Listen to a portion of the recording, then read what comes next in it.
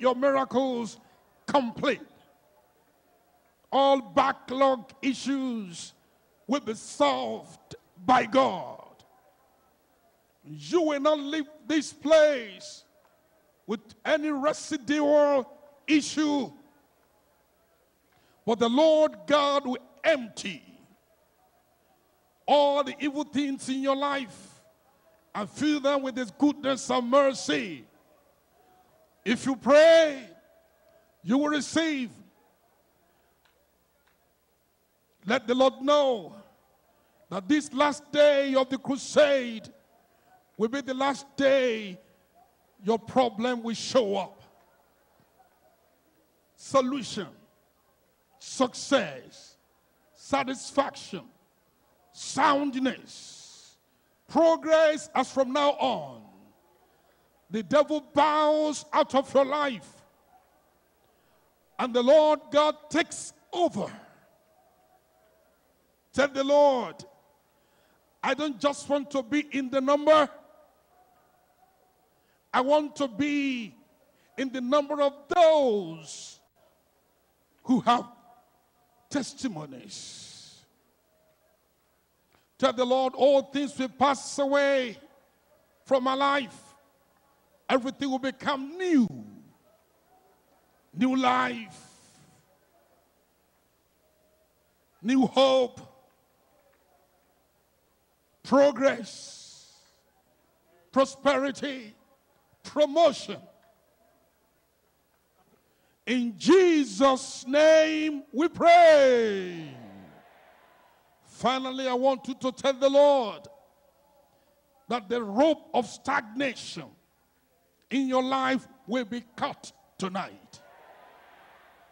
That as from now on, you move from minimum to maximum, from glory to glory from power to power, from poverty to prosperity.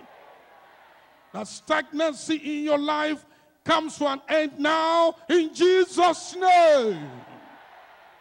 Lift up your voice and tell the Lord. Stagnancy coming to end in my life. Lack of progress, confusion, not knowing what to do, not knowing where to go. Let the light of the Lord shine on my path and shine on my way.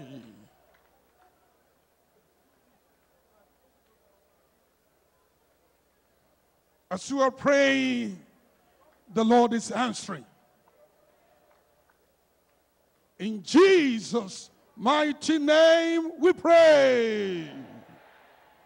Almighty Father, we are here tonight, this evening, the last day of the crusade. We thank you for all that you have done. And here we are again for the last time. Father, we pray, stretch forth your hands, O God, and let there be perfection in Jesus' name. Almighty Father, we're looking up to you for showers of blessing, not mercy drops. Father, we pray, let everyone be soaked and drenched in your manifestations in Jesus' name. Father, the devil has no chance to roam. And therefore, we command every spirit, every mood of negativity, and every show of resentment die in Jesus' name. And Lord, this evening, whatever we confess, we possess. Whatever we say amen to, we possess. And as the servant prays for us, I will say the last amen. Lord God, we pray, complete the miracles in Jesus' name. May we never be the same again. Thank you, Father, for answering our prayers. For in Jesus' mighty name we pray. And those who are praying, louder amen. And those who are receiving tonight, another amen. The goodness of the Lord will abide with you all. We now sing congregation a song. We are singing from a leaflet, Rock of Ages, cleft from me. Rock of Ages, cleft from me. Let me hide myself in thee. Let the water and the blood from the riven side which flowed be of sin the double cure. Cleanse me from its guilt and power. Not the labors of my hands can fulfill the law's demands. Could my zeal no respite know? Could my tears forever flow? All for sin could not atone. Thou must save, and thou alone. Nothing in my hand I bring, simply to thy cross I cling. Naked, come to thee for dress. Helpless, look to thee for grace. Foul I to the fountain fly. Wash me, Savior, or I die. While I draw this fleeting breath, where my heart lays close in death, when I soar to the worlds unknown, see thee on thy judgment throne, rock of ages cut from me, let me hide myself in thee.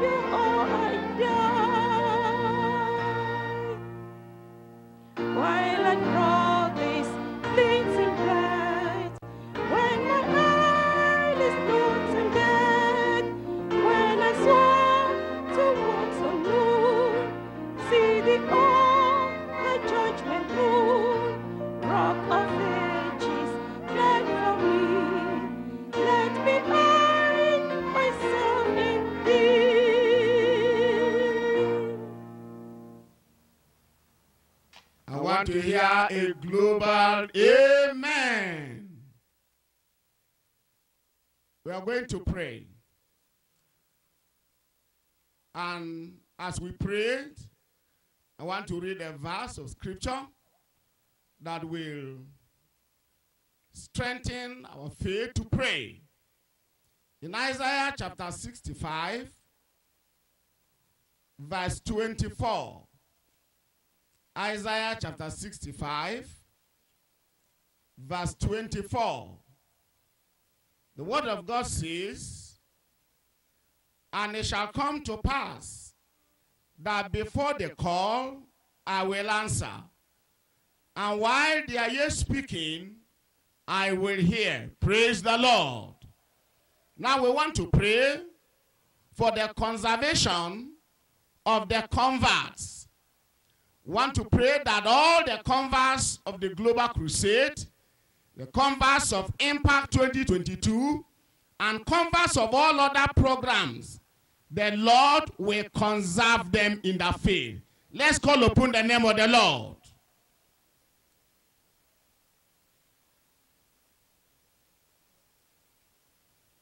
Pray the Lord is hearing according to his promise that they will not backslide, they will not go back to the world. They will abide in the Lord, and the word of God will abide in them. In Jesus' name we pray. Now we want to pray for strength and grace for those who are being persecuted. Paul the Apostle tells us in Acts chapter 26, verse 22 Having therefore obtained the help of God, I continue unto this day. We want to pray that those who are being persecuted, as a result of their newfound faith, the Lord will strengthen them. The Lord will help them. The Lord will multiply his grace upon their lives to continue to the very end. Shall we lift up our voices to the Lord in prayer?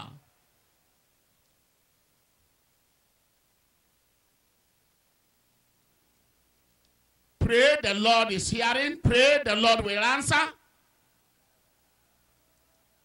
That they will endure whatever persecution is for a moment. In Jesus' name we pray. Amen. Want to pray for sustenance of open door of salvation to the world through this global crusade. The Lord have opened the door for us. Want to pray that that door will remain wide open. That any plan of the enemy to close this door for global revival, the Lord will crush it. Shall we lift up our voice to God in prayer? Remember, we are connected all over the world. What a privilege to pray. Call upon the name of the Lord that the door of revival that is open through which souls come to the kingdom of God, that door will remain wide open. Pray that the Lord will give us righteous leaders who will reign in righteousness. Talk to God in prayer. When the leaders are righteous and they are ruling in righteousness, there will be progress. All around progress, there will be peace. Pray. In Jesus' name we pray. Can I hear your amen? We are going to pray at this time for global awakening, for righteousness. Global awakening, for righteousness. Let's call upon the name of the Lord that we will awake to righteousness and sin not, as it is in First Corinthians